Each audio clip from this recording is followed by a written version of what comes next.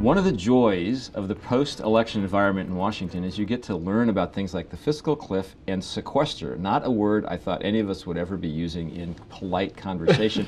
this week in Washington, it was the only thing everybody talked about, and mostly in the context of, oh, I guess there's going to be a sequester. Uh, And you think there is going to be one now, right? That's right. The sequester is the process for picking the new pope. Is that what we're talking about? no, it's funny. The last these budget crises we've had the last few years, we've always gotten a week out thinking something bad was going to happen, and then all this there's this flurry of activity, and the, they get a hail mary pass at the last minute. This time, there's really no flurry of activity. Yeah. Everyone sort of knows we're going to go blitzing into March, into this kind of uncertain, murky, cloudy situation, and so it looks like there's going to be uh, at least a sequester temporarily. You know, there's going to be this process beginning of March, a blizzard of of letters are going to go out from the federal agencies saying, you know, telling contractors and employees, we're going to have to cut our spending. It's going to, you know, mean um, less furloughs for employees, all sorts of other cutbacks as well. You know, the, we're not going to get hit, you know, by this immediate um, assault on March 1st, but it's going to eventually start to tighten the grip of government spending. And as long as this process goes on, maybe we, you know we might start to see some. All right, real so you get the task of giving the 30 second explanation of what sequester is and why we're having it. Uh, the Congress of the United States and the President of the United States decided to create something that was so bad that as an alternative, they would do something about the deficit.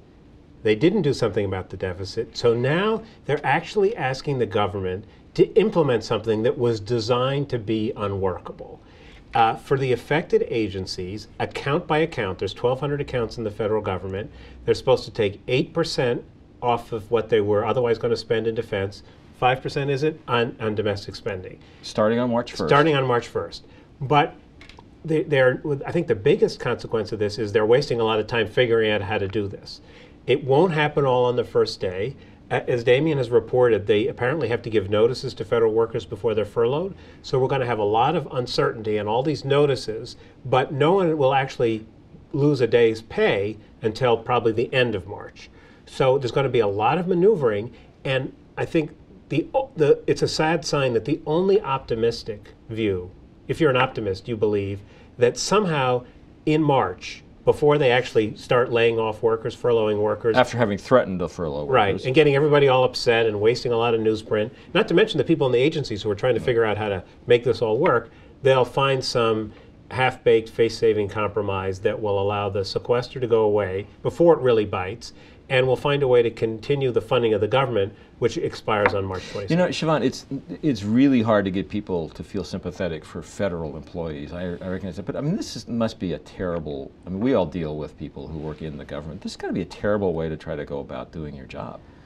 For, for the federal For employees. federal employees, like Well, you're, sure. you're running an agency. What are you supposed to do? Well, sure. And I mean, especially if you're talking about folks who are responsible for national security, who would be the folks who I'm speaking Yeah. with, because, you know, they're already in a very day in, day out constant job. This isn't something where it's really easy to just take off 8% here and there and everywhere. I mean, you know, if you've got a spy operation going, and, you know, I think military is protecting operations, but there are a lot of other things that are now going to be Right, the cut civilian back. maintenance workers, Yeah, yeah. So the things that are supposed to facilitate all the operations do get cut back, and so to think that that's not ultimately going to have a consequence is is really fantastical. Yeah. Well, my prediction is that we'll have a sequester. It'll go for a while, but not very long, and then we'll do something more sensible. It, it- you know, you in agreement Do with something my- else, more sensible. Well, what's really weird, Value judgment. Almost anything will qualify. What's really weird about this is so they're, the cuts that they're doing are actually in this kind of small portion of the federal budget, right? They're not cutting Medicare benefits, they're not cutting Social Security benefits. So if they're going to cut things, you know, if we're going to be furloughing TSA workers and um, meat inspectors, like the White House says they're going to do, then and there could be the consequences of that. There could be this public backlash. Well, we can't do that, and then. There's going to re-scramble the whole debate about can we do government spending, even if it's just this little bit. Well, bit. and there, there are two possible uh, outcomes to that. One is the Republicans will win because people will see government services shut down and say, oh, well, that's not so Exactly. bad. And uh, so the consequences aren't terrible. They think, oh, that's okay. Or everything's horrible, and the idea that, you know, you really ought to pay for this stuff becomes more prominent in people's Well, the. White House seems to think this is a political winner for them. Yeah. Do you think they're right?